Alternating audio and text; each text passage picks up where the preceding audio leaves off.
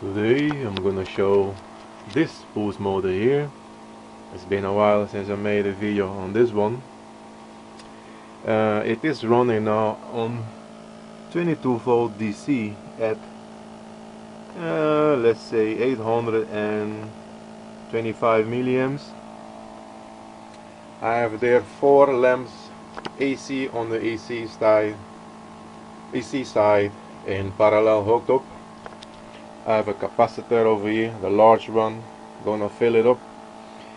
The output, AC output, is going through those capacitors over here. One line is going through those lights, and then they come over here in these two um, uh, transformer. I already have a video on this setup, but it's one of the first video uploaded which has uh, no audio.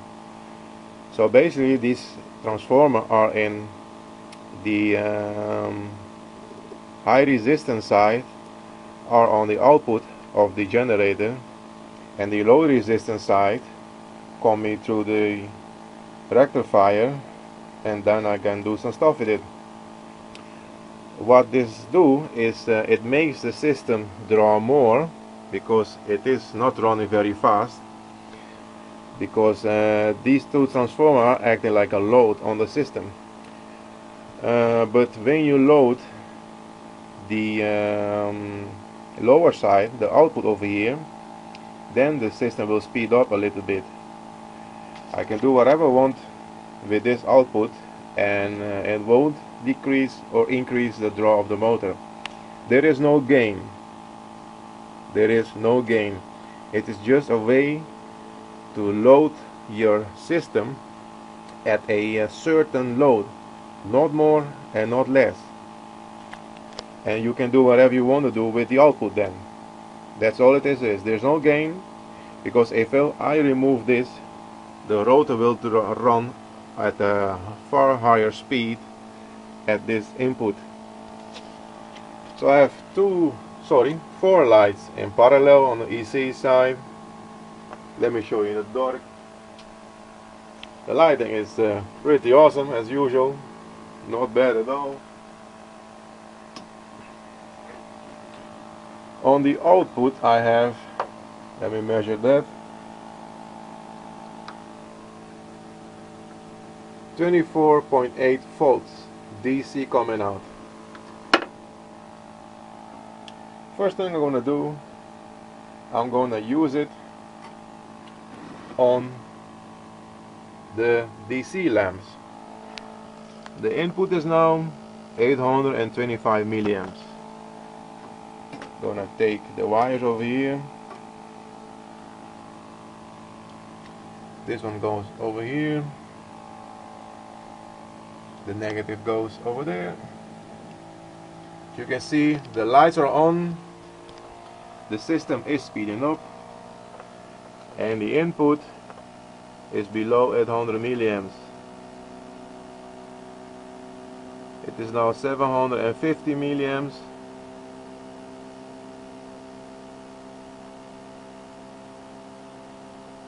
So it went down a little bit.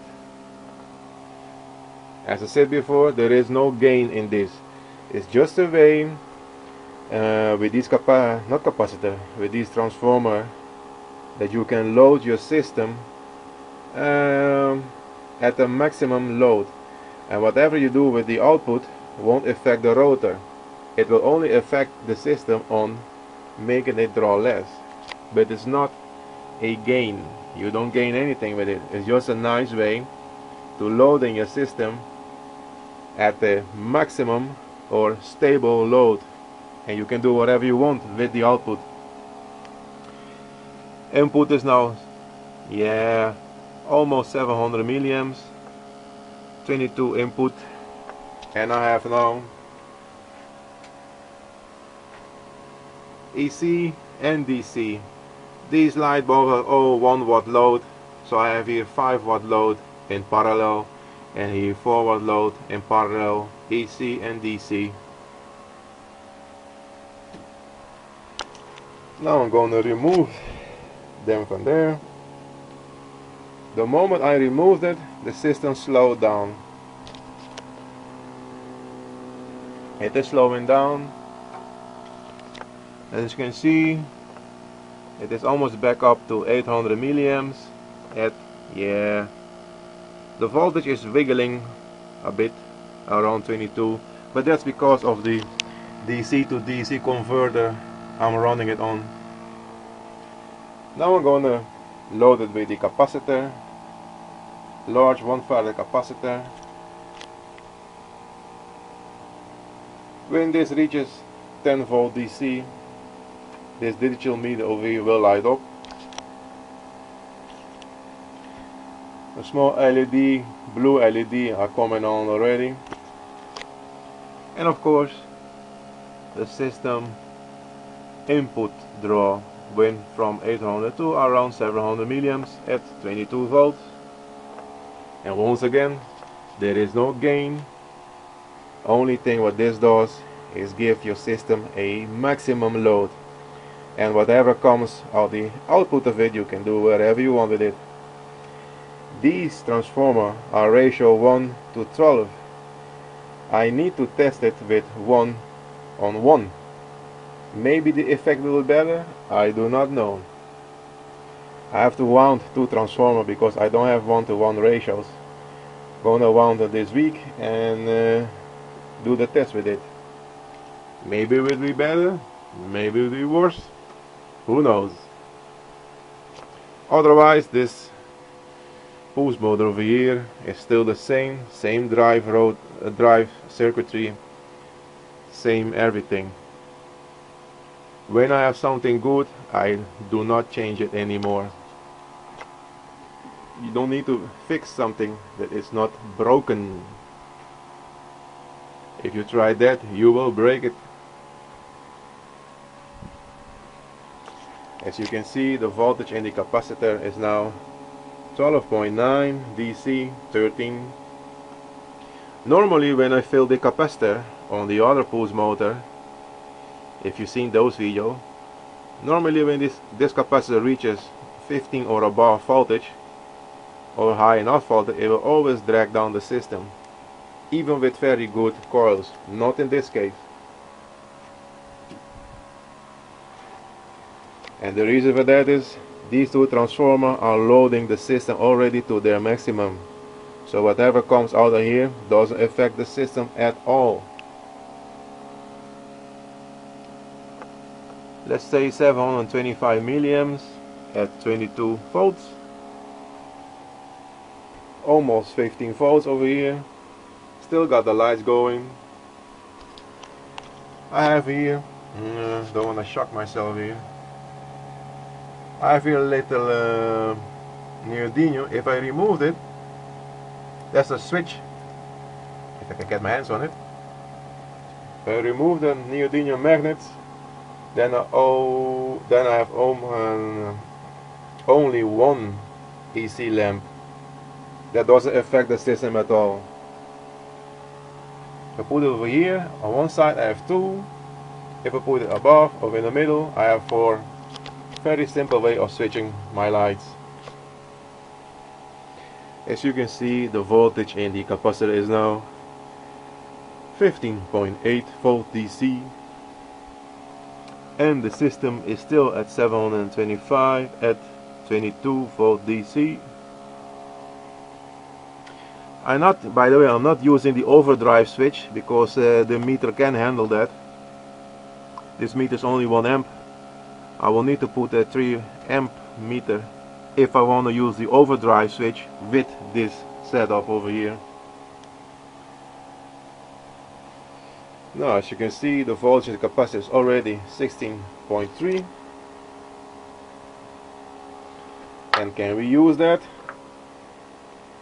I have a bad idea.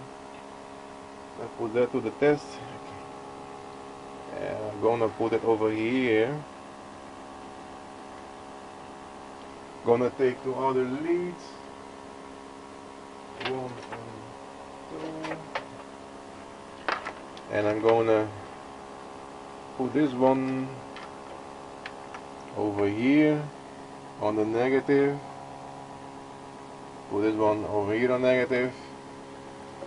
And I'm gonna send this energy in this capacitor to those five DC light bulb in parallel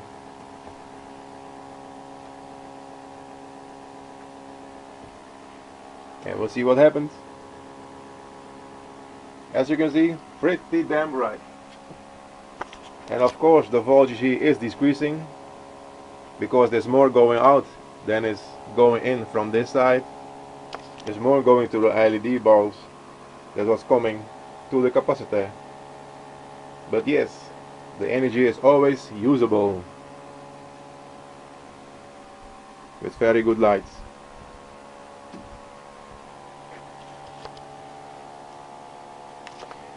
and as you can see when I have now the uh, I have now the capacitor on the output to the bulbs and the input is now 21.9 at 700 milliamps.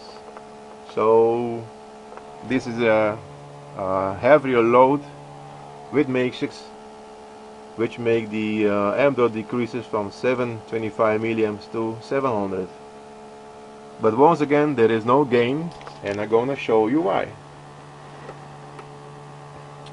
Gonna remove everything and also gonna remove this wire over here. By removing this wire these two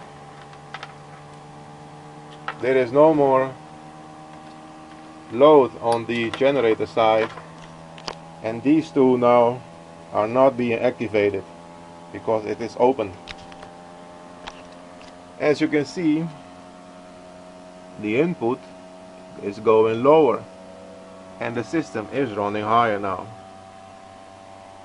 So once again there is no gain with this system. It only puts a certain maximum load on your pulse motor or generator whatever and you can use the output from that to do anything you want to do with it. Next step is for me to find two identical one-to-one -one ratio transformer and test it the same way again and see what happens. And at this point over here as you can see let me make some room.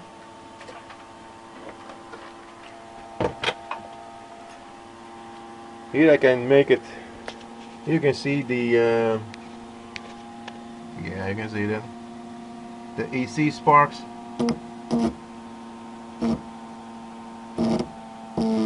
yeah nice that's a pretty impressive spark for like uh, 5 millimeter or so. Yeah dangerous but cool but be safe. Okay just update on this one. Hope you enjoyed it. Thanks for watching